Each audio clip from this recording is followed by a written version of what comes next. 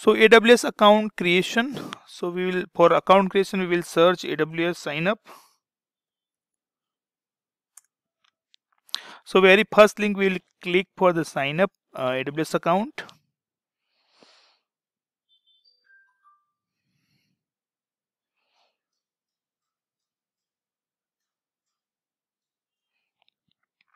So this is the aws sign up account the um, page where we have to pass the email id uh, password confirm password and account name. So that could be the uh, unique name. So you have to give the account name.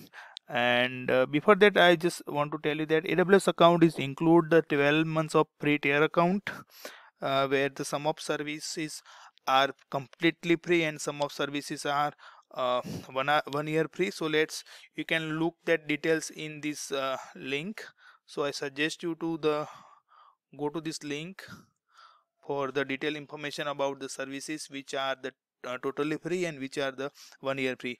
Uh, there are some service are the trial based free. So here you will find the details for the 12 months free or always free or trial based free.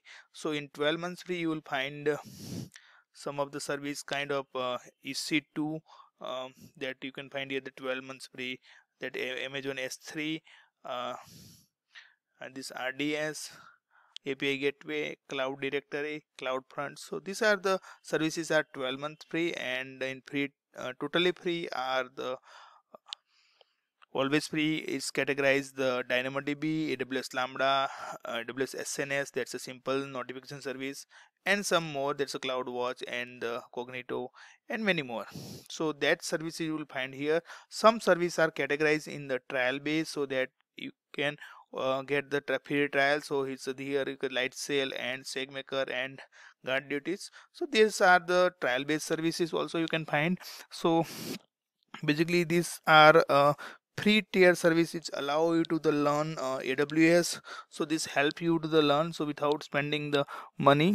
So let's go back to the sign up process. Here you have to give the uh, your personal details for account creation so in next page you will find the per, uh, uh, contact details for your per, uh, professional and personal uh, type of account. So we will he, use here the personal account type. Uh, here we have to pass the uh, personal phone number country data your address city and state and postal code. So you have to pass these details so after giving the personal details the next uh, page and the final page is payment information. Here here you have to give the credit card or debit card uh, details for the billing uh, details. So you can also give your pan number and you can also validate your address over here.